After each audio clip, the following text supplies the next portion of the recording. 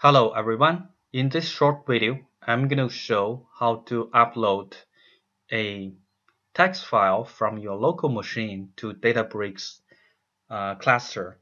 And here I assume you already have your cluster created. So uh, let's check.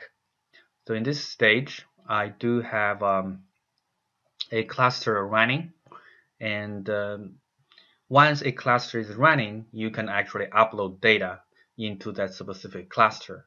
To upload the data, you can click on the data icon on the left. It's going to show you um, for this active cluster, there's only one database, which is default. And then there's no tables. There's no data at all. It's a brand new cluster. So to create a table in the default database, what you can do is to click the plus sign uh, in the table column, and then uh, um, it's, it's going to ask what cluster you want to put your um, data, where the data source is actually from file, and um, here we can actually uh, select the files that we would like to update. Let's use the division, for example, which is described in the um, uh, in the document. So uh, the file is a CSV file. We can preview the table, and uh, for a CSV file, it's going to be automatically determine what what is the delimiter.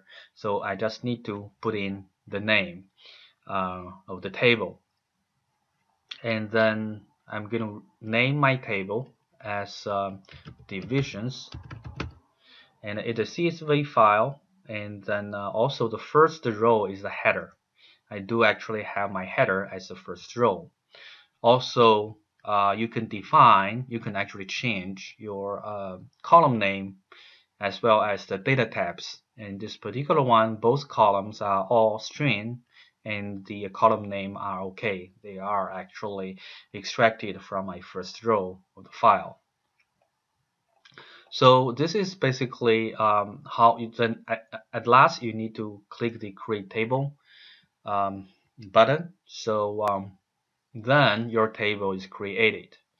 Um, so similarly, I can create another table that is used in the book uh, for SQL Basic. So we repeat we choose the other table. The file is a matrix.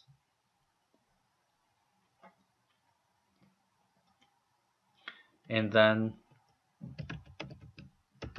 we give a name for that table and also my first row is the header and then uh, I do have the population and income as real number instead of string so I can change the um, I can change the type for each columns um, in the table creation uh, stage. Then click Create Table. So now the matrix table is also created. Please keep in mind, we created two tables and uh, they can be used as data frame in your uh, R or Python notebook. They are uh, all those two tables are already created to across um, different uh, nodes that is available. So it is basically a Spark object. It's already it is already distributed across different kind of machine, and we can actually apply Spark's parallel computing power to um, uh, to leverage the parallel uh, data processing system. Now let's click the data icon again. We can see now there are two tables within the default database.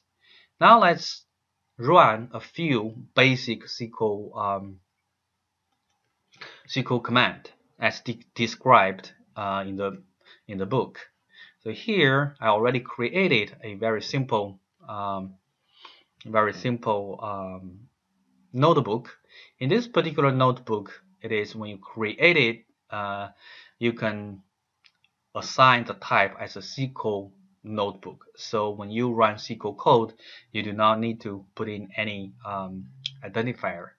So for example, I have the show database statement, it is going to show which database uh, in the system. And now there's only one, which is called default.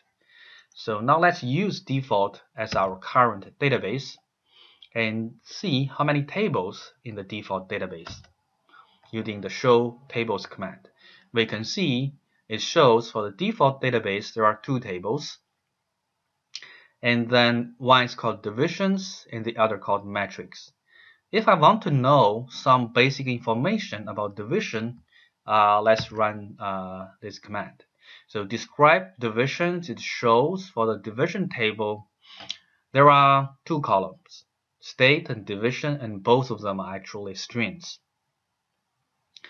And then the next step is basically, let's look at the first 10, um, let's look at the first 10 uh, records in the division table by using this very simple um, command. Uh, here I need to know uh, it's a limit 10 in um, Databricks basically we can return the first 10 rows by adding limit 10 to show the uh, first 10 rows as we described in the uh, in the book um, for different kind of database management system, there are slightly different ways uh, for for this feature, and you can use if for other database you may have to use select top 10 star from division to see the first 10 rows. Okay, uh, that is all the introduction of how to upload data into uh, Spark tables. See you next time.